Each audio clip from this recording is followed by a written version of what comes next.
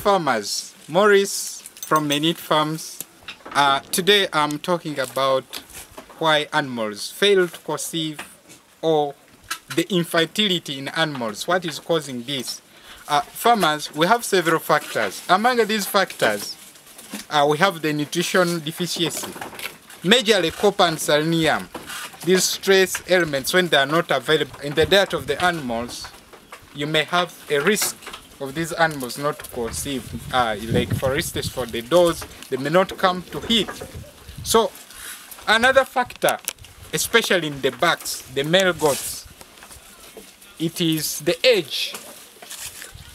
When, for instance, a male goat is aged, for instance, it is in seven years, uh, the sperm count reduces and when such reduces, it means that the goat, the buck will not serve the does as recommended. And at times, the buck will not be fertile at, at all. Another thing is arthritis in bucks still. You see, arthritis brings in pain, and this pain will make a he goat not climb a door. And at the end, you will find that you have a male a back that is not clamping on the door because of this disease. Uh, we have genetic inability.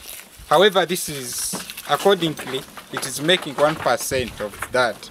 So the genetic inability you need now to avoid these farmers, you need to select, you need to do proper breed selection to have uh, good breeds then also in, in most cases, in the female goats, the does, we have infections, uh, especially the ovarian cysts. These are inflammations on the ovaries.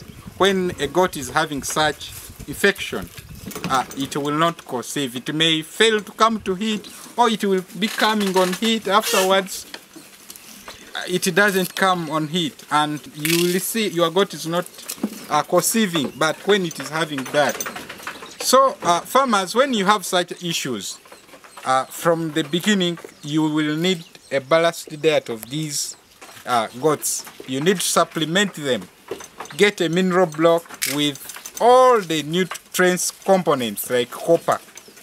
And then accordingly you need to mark the age of your goat. So take records.